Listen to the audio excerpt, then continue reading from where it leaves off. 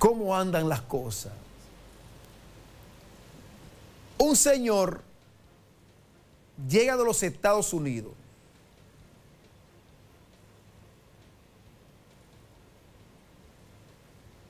Le dice a su hijo que lo vaya a buscar. Imagino. Bueno. Lo cierto es, cuando llegan a la casa, el Señor llega a, su casa, un atraco. Óigame, llegando a su casa, fue Moca, llegando a Moca, un atraco. Le llevaron 10 mil dólares, supuestamente. En eso está involucrado una mujer, un hombre y el hijo del Señor. Y están ahí heridos. Le dieron un tiro.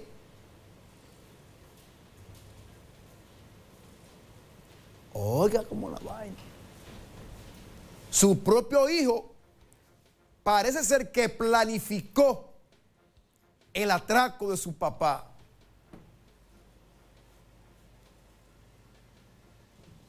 Veamos esta historia de lo que le pasó a este señor.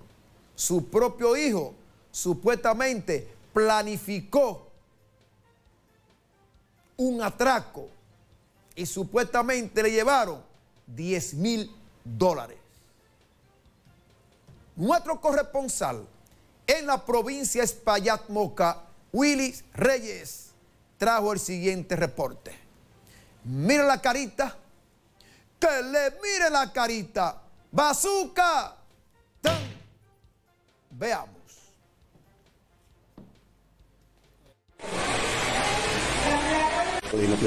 A ver. Vea, maestro.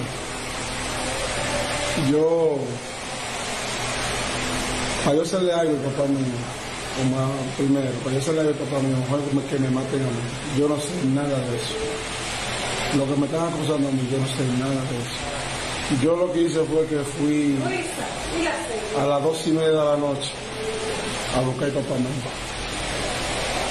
Habían dos haitianos que me estaban diciendo a mí vamos a buscar droga para Moca. Y dije, no, ¿cuándo tú me has visto yo buscando droga para Moca? Yo nunca he buscado droga para Moca, ni tampoco he usado eso. Yo les jalé colín mejor y se fueron. Más para adelante, para que la jipeta más para adelante. Para que la jipeta más para adelante. Pensando que los haitianos se iban a meter en la casa. Para mí que esos haitianos eran ubicadores. Haitianos. Supuestamente tu esposa se fue interrogada por un fiscal y declaró que se cuenta detenida. ¿Y qué tú tienes que decir? Para mí, para mí no. Los haitianos ubicadores que, que- estaban ahí, que yo me fui, yo vi una- un carro gris en mi callejón a las dos y media de la noche, y digo, está, está raro. Y arranqué para el aeropuerto porque el papá mío. Cuando yo vino de allá para acá, veo el carro otra vez en el mismo sitio.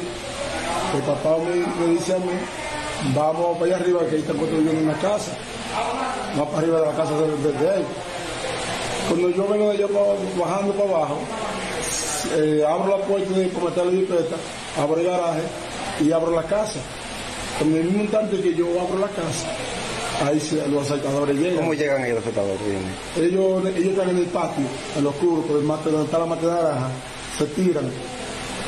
Y yo, y yo, y papá, y papá me entró primero para la casa y salió. Y dice, papá me dijo, Carlito, ¿tú, ¿por qué, y- Carlito, ¿por qué tú, papá, entré para adentro, que ese carro está sospechoso? Le digo yo, tú, tú siempre con tu miedo, me sabes, tú siempre con tu miedo. Y de repente se la gana. Y el momento que yo fui a buscar el colín para, para, para la jipeta, me, me dieron un tiro por la espalda, por ahí. Y después parece que me largó otro tiro y se pegó a la jipeta por atrás. ¿Y qué se llevaron a la patrulla? ¿Qué le llevaron ellos? Ellos le llevaron 10 mil dólares papá mío. Y su, y su celular, supuestamente su celular de la mujer mía y su celular de, de papá mío. No, nada. Yo no sé de eso.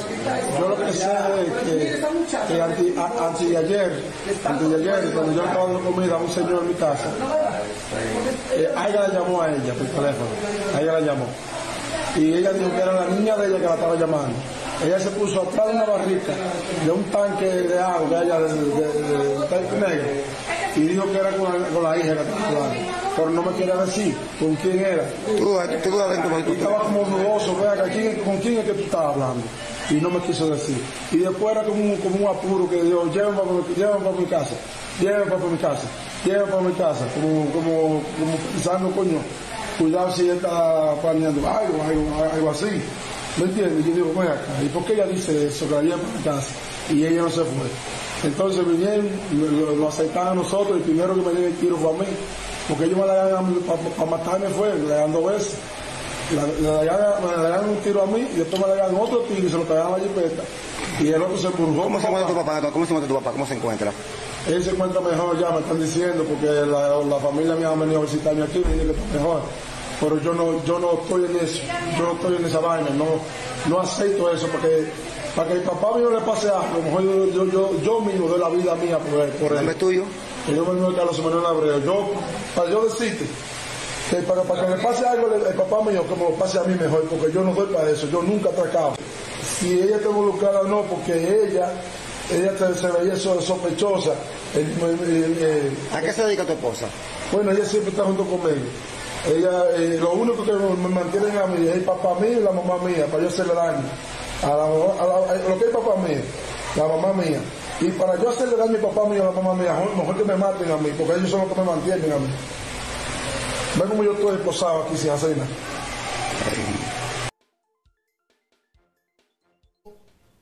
del Señor. Ahora, vamos a escuchar la esposa de él, o la mujer de él, como quiera llamarle, lo que ella dice. A ella la pusieron libertad porque ella está clara. Vamos a lo que dice ella con relación a este caso, porque ella estaba ahí, es como que la está acusando a ella. El hijo del Señor, véanlo ahí, que esté posado ahí. ¿Ya están listas, Jonás? Mira la carita. Que le mire la carita ahora. Ella habla de esta forma. ¡Bazooka! ¡Tan! Veamos. Yo soy inocente de todo lo que me están acusando. Tú eres inocente. Pero tu esposo dice que tú fuiste que planeaste. Yo no he planeado nada porque ese ti- los tipos que, que fueron allá yo no los conozco. Nunca lo había visto. Yo nunca lo he visto. Yo soy inocente. De todo lo que él me está acusando a mí, yo soy inocente. Tú estás libre ya. Yo estoy libre. ¿Quién planificó esto entonces? Pues, Él. tú fuiste al aeropuerto también. Sí, porque él me obligó que fuera y yo me iba para mi casa, que ya yo tenía las maletas preparadas para irme, que ese hombre no me soporta a mí, que era, cada vez que llamaba era un pleito conmigo y él, y él decía que no quería saber de mí, que me fuera de su casa y yo me iba a ir el miércoles en la tarde que me iba a llevar a la casa, ¿Quién es que no te soporta? ¿El papá de el él? papá de él.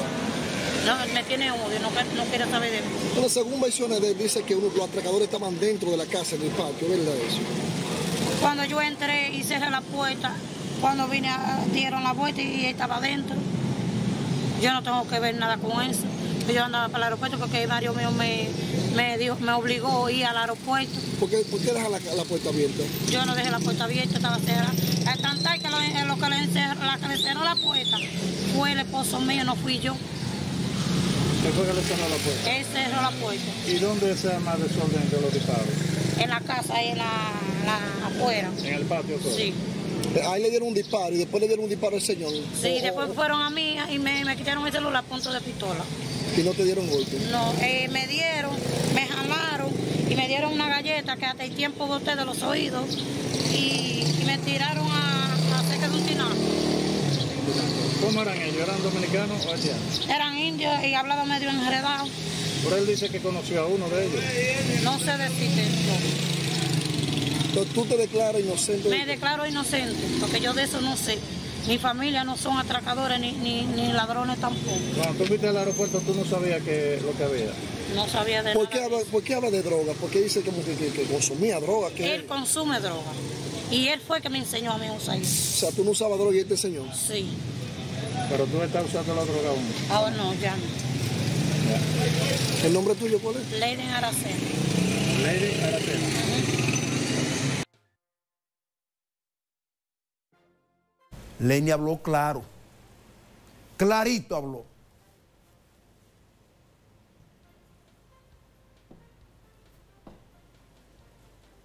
Oigan eso.